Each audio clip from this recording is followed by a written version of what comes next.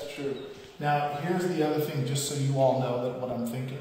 You know, imagine we walk into the living room from the front door, and it's just too small. So the back wall of the living room could maybe push, disappear, and let the bedroom right behind there be part of an L-shaped living room. That would be, that would give us a much bigger entry area. On which room? Ah. Coming into the living room. Oh, we're right now. Yeah, so tur- turn to the right, David.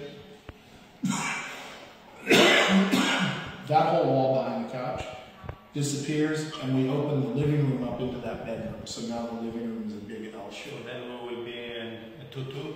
Well, we'd have to find what the basement offers. That upstairs could be a bedroom. Is that that upstairs is not being counted as a bedroom right now, is it? It is not. So with a closet, that becomes a So bedroom. where is the third room? In the in the basement? Hmm. And that's maybe where the master suite goes, and the living room is a big L shape.